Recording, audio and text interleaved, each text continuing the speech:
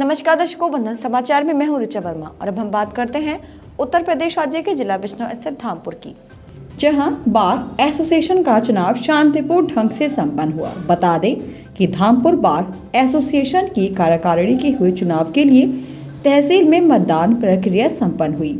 चुनाव को शांतिपूर्ण ढंग से संपन्न कराने के लिए छह सदस्यों की एल्डर्स कमेटी बनाई गई। एक सौ इकहत्तर अधिवक्ताओं ने अपने मत का प्रयोग किया। राजपाल सिंह ने एक सौ आठ वोट पाकर अपने प्रतिद्वंदी सुरेश सिंह को 35 वोटों से हराया।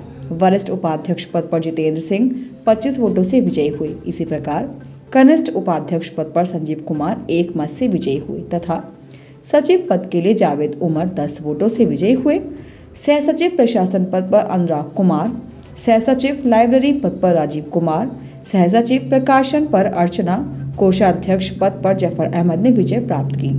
चुनाव जीतने के बाद सभी विजयी पदाधिकारी अधिवक्ताओं का फूलमालाओं से स्वागत किया गया। और इसी के साथ जुड़े रहे बंधन समाचार के साथ।